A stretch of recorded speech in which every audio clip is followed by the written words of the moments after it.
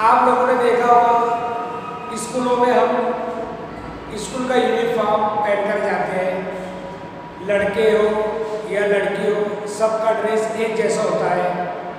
लड़कियाँ शलवार कमीज, दुपट्टा या स्काफ लेती हैं। लड़के pant, shirt tie belt shoes वगैरह इस्तेमाल करते हैं।